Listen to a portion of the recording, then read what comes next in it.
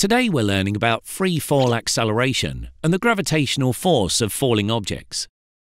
To introduce the topic, here's a thought experiment. I want you to imagine you're at the top of a ladder. From your high up position, you hold out a 2 kilogram brick and a coin of 5 grams and you drop them at the same time. What do you expect to happen? Which object hits the ground first and why? How about if you did the same experiment in a vacuum? Would you expect a different result? Maybe the answers seem obvious to you.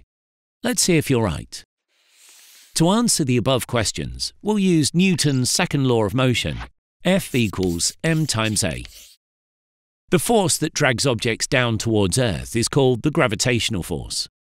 The gravitation force, or Fg, is equal to the mass of the object in kilograms, m, times by the gravitational acceleration, g. On Earth, acceleration due to gravity is constant for all objects, no matter their mass.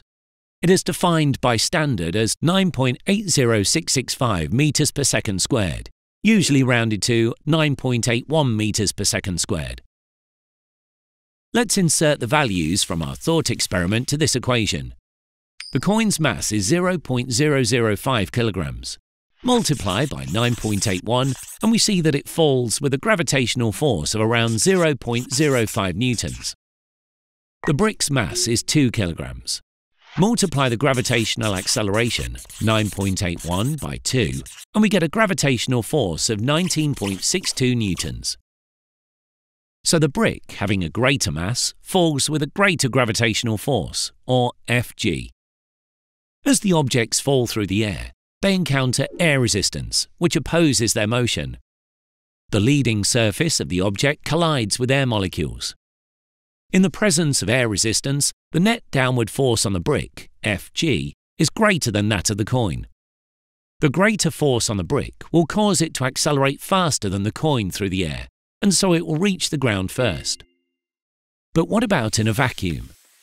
In a vacuum, air resistance is negligible. If we ignore air resistance, falling objects experience an average constant acceleration of 9.81 meters per second squared regardless of their mass and shape. Objects falling under the sole influence of gravity with negligible air resistance are said to be free-falling. Believe it or not, a free-falling beach ball will fall at the same rate as a free-falling aircraft. All objects fall at the same rate. Therefore, in answer to our initial question, if you were to drop a coin and a brick in a vacuum, they would have identical accelerations, g. They would reach the ground in tandem because they are free-falling.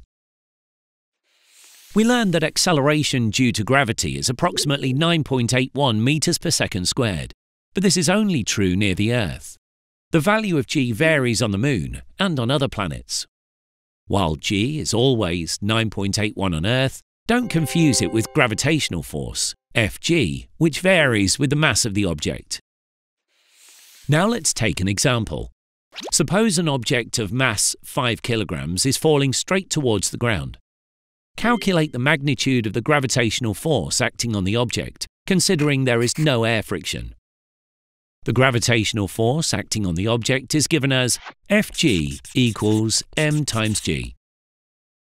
So we simply plug in the values of mass and g into the expression to calculate the gravitational force. The gravitational force of the object is 49.1 newtons.